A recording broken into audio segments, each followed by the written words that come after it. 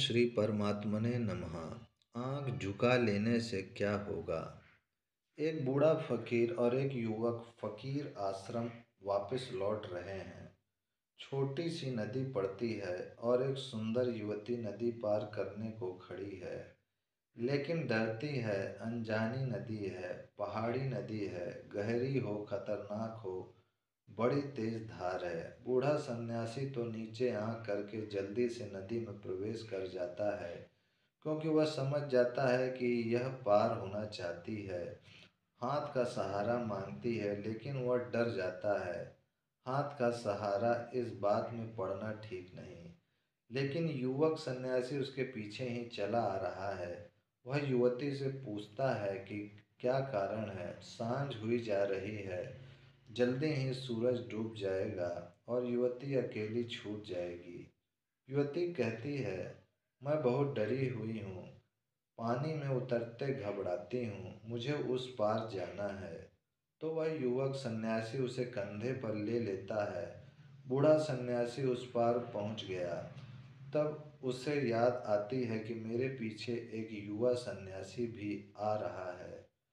कहीं वह इस झंझट में न पड़ जाए लौट कर देखता है तो उसकी आँखों को भरोसा ही नहीं आता है। वह कंधे पर बिठाए हुए लड़की को नदी पार कर रहा है। बूढ़ा तो आग से जल भुन गया। युवक सन्यासी ने युवती को दूसरे किनारे उतार दिया, फिर दोनों चुपचाप चलने लगे। दो मील तक कोई बात ना हुई। दो मील बाद बूढ़े को बर्दाश्त के बाहर हो गया। उसने कहा, यह ठीक नहीं हुआ। मुझे गुरु को जाकर कहना ही पड़ेगा।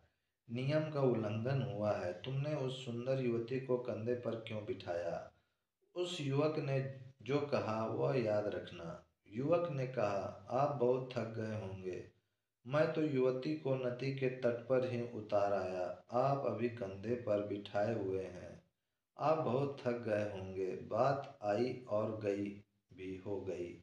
अभी तक आप भूले नहीं। जिसको तुम महात्मा कहते हो, वह आँख तो झुका लेगा। लेकिन आँख झुकाने से कहीं वासनाएँ समाप्त होती हैं। आँख फोड़ भी लो तो भी वासनाएँ समाप्त नहीं होती। आँखों पर पट्टियाँ बाँध लो तो भी वासनाएँ समाप्त नहीं होती। वासनाओं का आँखों से क्या संबंध है? क्या तुम सोचते हो अंधे को वासना नहीं होती? अंधे को इतनी ही वासना होती है जितनी तुमको, शायद थोड़ी ज़्यादा ही होती है। क्योंकि उसके पास, बेचारे के पास उपाय भी नहीं, असहाय है, वो तड़पता है। उसके भीतर भी प्रबल आकांक्षा है, प्रबल वेग है। तो आँख बंद कर लेने से, आँख झुका लेने से क्या होगा? किसको धोखा दे रहे हो? ओम शांति शांति शांति।